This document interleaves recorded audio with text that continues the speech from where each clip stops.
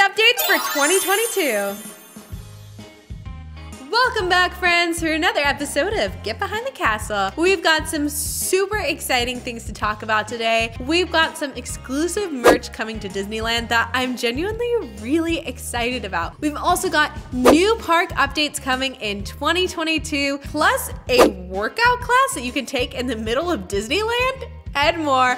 Let's get into it. First up is this actually really cute character travel mug. I'll be honest, I'm not one of those people that thinks, you know, everything is cute from Disneyland merch. You know, they got Figment popcorn buckets at Disney World, and we've got these super cute character mugs at Disney's California Adventure. Almost equal, not really, but still really cool. these cost only $10.29 and they come with a fountain drink of your choice, always a win. And this teal mug features all of these Pixar characters at different points in Disney's California Adventure. Love the little details of them around the park. It's so cute. Next up for you Star Wars fans, we've got a shirt called Things That Tried to Eat Luke Skywalker. And it's exactly that, a shirt of things that tried to eat Luke Skywalker in Star Wars. This shirt comes in at about $29.99 and features characters from A New Hope, Empire Strikes Back, and Return of the Jedi. We've also got this super cute Lizzie McGuire t-shirt for sale. I'm shocked to see it. I feel like Disney, especially since they scrapped the Lizzie McGuire show on Disney Plus, I felt like they were kind of giving Lizzie McGuire the cold shoulder, but there's actual merch at Disneyland for right now. I couldn't believe it. This is priced at $36.99. I'm a Lizzie McGuire fan to my core. I was obsessed with this TV show. This shirt just personifies all things Lizzie McGuire. And that's not even the end of it, folks. We've got three different Tomorrowland shirts. Like, I cannot believe all the merch that just dropped. It's incredible. First up, we've got this Tomorrowland long sleeve hooded t-shirt for $59.99, which is a little pricey. I'm not gonna lie to you. Something that's really cool about this shirt specifically though, is it has a bunch of Tomorrowland attractions, including ones that are no longer there. They've also got this super cute People Mover t-shirt. I actually really like this t-shirt. It's $29.99, a little bit of a better price. And while the People Mover is very beloved at Walt Disney World, it is no longer at Disneyland. So I think it is really fun to have a shirt of an attraction that is no longer currently at Disneyland. And of course, you cannot do Tomorrowland merch without having something about Space Mountain. This Space Mountain t-shirt is $24.99 and has the attraction outline and Space Mountain written on it in bold. Something about this shirt that does kind of bother me, I'll be honest, is the fact that it's not glow in the dark. Like, I feel like anything about Space Mountain, it should glow in the dark. I'm not convinced that it's not glow in the dark because it should be. We've also got special Valentine's Day editions of Minnie Mouse ears. Something that is very interesting to me about this is that I've seen two different types of these ears cycling around at the park. There seems to be a different one at the Mad Hatter in Fantasyland than there is in downtown Disney. I would say to look at both to decide which you think is the cutest of the two. Make sure you do your research before you buy one because they're both the exact same price. They just look a little bit different. All right, guys, I have some epic news. If you love Dole Whip, just like I do, we've got a new flavor for Valentine's Day. Woo, woo. This is a watermelon cherry Dole Whip swirl and it sounds so good. Like I'm trying hard to not just drool right now. And not only is it just a new Dole flavor, but they actually have cute little sprinkles that go on top and a cute little butterfly gummy. The price of this is $6.79, but I don't know, at least if you're a major Dole Whip fan like me, I feel like it's worth the try. Like I will spend my money on this. And that's not all. You guys, there's a chocolate strawberry soft serve that's being sold with sprinkles around the rim and a chocolate covered strawberry. Are you joking me? This can be found at the Tropical Hideaway from February 1st to February 28th, so make sure you go get a taste. You can take a Disneyland workout class in the park. That's right, Disney workout classes are being offered inside the park. So these classes are being offered exclusively for people staying at Disney's Grand Californian Hotel.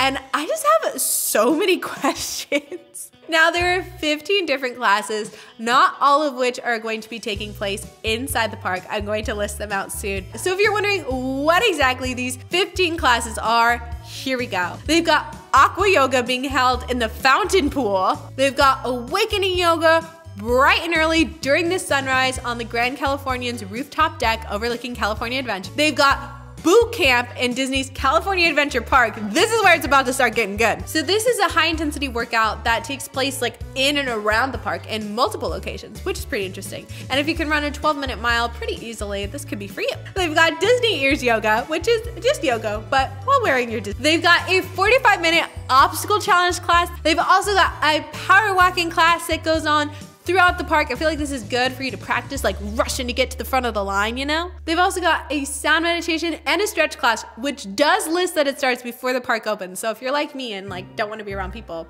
this may be a good one. It looks like classes cost about 25 to $30 per person, which isn't too bad. And you do need to be 18 or older if you want to participate by yourself. And now that we got our workout in, let's talk about all the Disney changes coming in 2022. In 2022, the Avengers campus expansion is officially coming to Disneyland Paris, open for guests. They will be getting the Web Slingers Spider-Man ride, as well as an Iron Man themed transition for the Rock and Roller Coaster, and a Pym Particle inspired restaurant. I'm really excited to see how this all comes together in Paris to add their own little unique changes for each land. In 2022, we will also finally see the opening of the Galactic Star Cruiser Resort, which I am so intrigued by. I feel like I'm going to be hawk-eyeing all of the blogs to see what this experience is actually like, if it's like a flop, if it's actually good. I don't know. I feel like this is very high risk, hopefully high reward for Disney, and I'm so interested to see how this is gonna play out.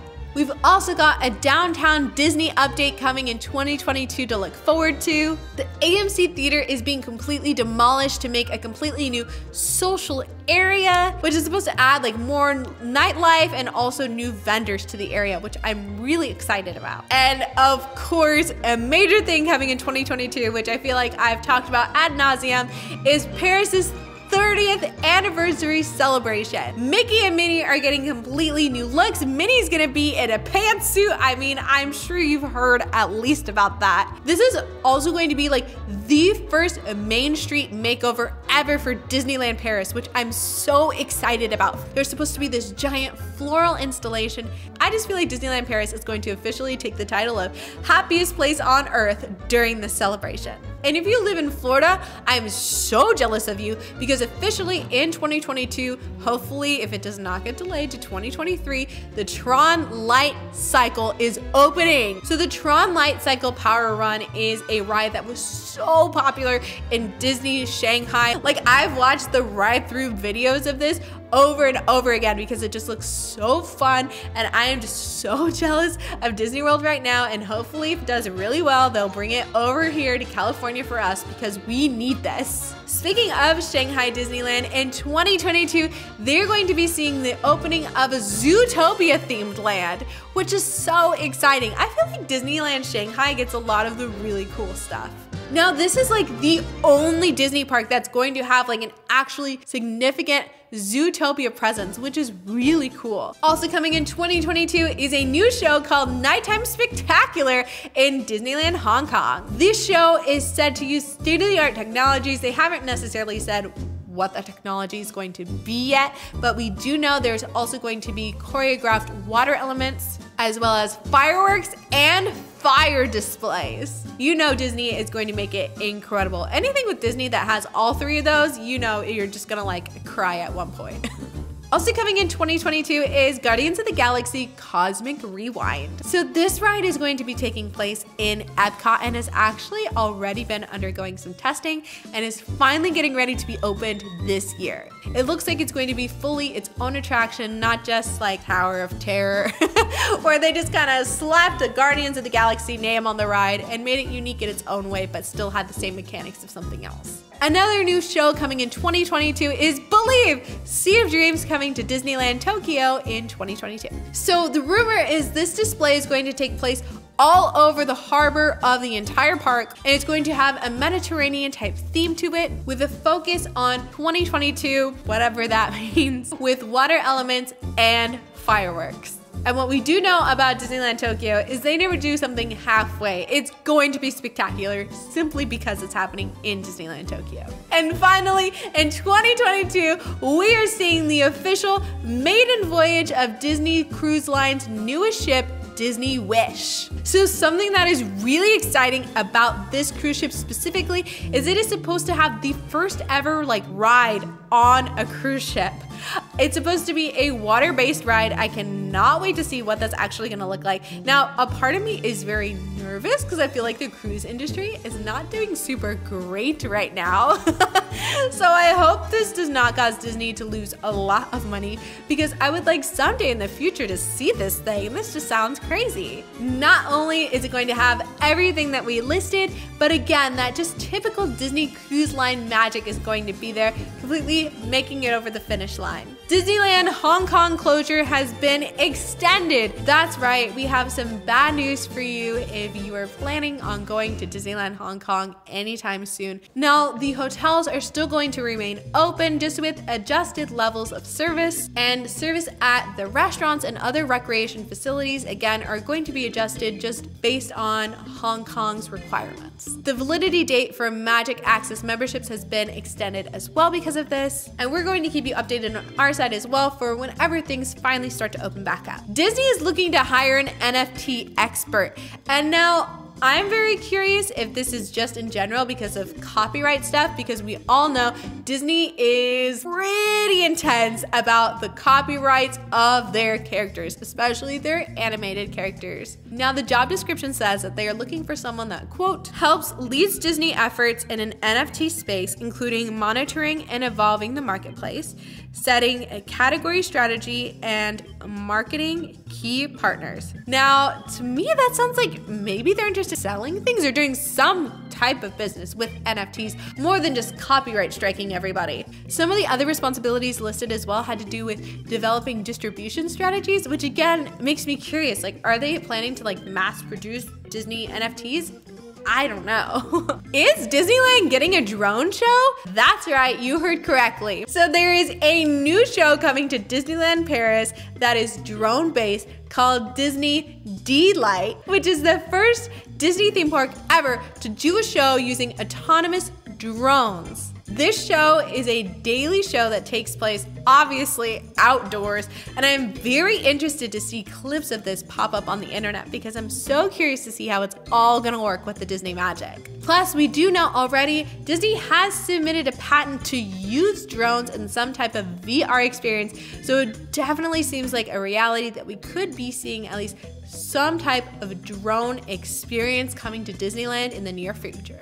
If you are a major Disney fan and you thought you knew everything there was to know about Disney, Disney has just released a new exclusive, truly deep dive experience for you. Disney is now offering D23 Gold members the experience to do a fully exclusive day trip of Walt's hometown. Now, every single step of this day trip is planned out by Disney with the Disney experience flair added to it. Now, if you don't know what town Walt is from, it's Marceline, Missouri, and Walt has even said numerous times in interviews how much of an influence the town he grew up in had on both him and the parks. He said, quote, I'm glad I was a small town boy and I'm glad Marceline was my town. So on this tour, there are numerous locations out the town. You get to explore the Walt Disney Hometown Museum, which was created by the city. Even visit Walt's Elementary School, which I don't know, feels a little evasive, but I guess it's fine. You get to stroll down Marceline's own Main Street USA, which again inspired the Main Street USA that takes place in Disneyland, plus dinner outside Walt's family's former farm, which is like what? this is such an interesting and unique experience, but definitely once in a lifetime. You even drive into town from, of course, the luxurious hotel Disney places you in by motor car. this whole thing is so retro and kind of weird and unique. I don't know. I just, I'm invested. they also provide breakfast, lunch, and dinner for you, which I'm sure all will have that Disney level of excellence to them. This just sounds so out of this world. I'm so intrigued and scared at the same time, but I kind of want to go. so if you are a member of D23 and you have money, honestly, please go. Tell me everything about this experience. I just, I need to know if it's as weird as it sounds. All right, friends, thanks for allowing me to add a little bit of magic into your day. I will see you all very soon.